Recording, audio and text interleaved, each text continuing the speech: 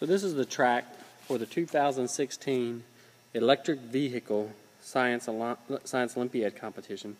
Um, a vehicle must be designed to travel between 9 and 12 meters and come to a complete stop.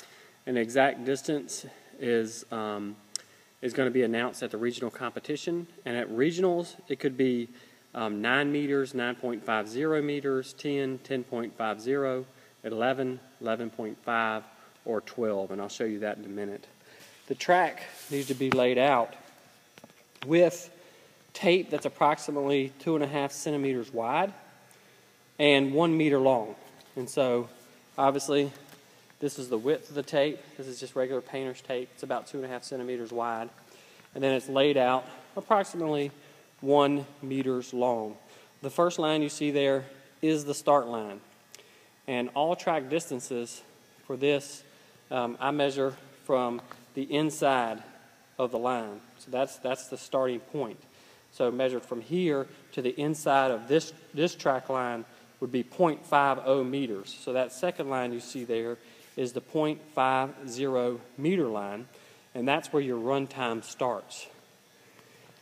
then we can walk down the track to where another line must be laid out, and the first line you come to is the 8.50 meter line. Again, marked to the inside of the tape. As soon as your car passes this inside of the tape, it's gone 8.5 meters.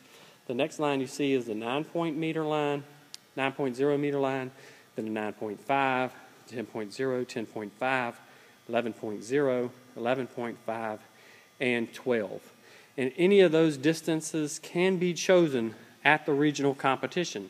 At the regional competition, probably only one of these lines will be marked, and after the impound.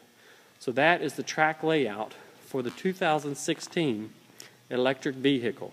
If you're moving on to states or nationals, those increments become much smaller. See the rules for details on that.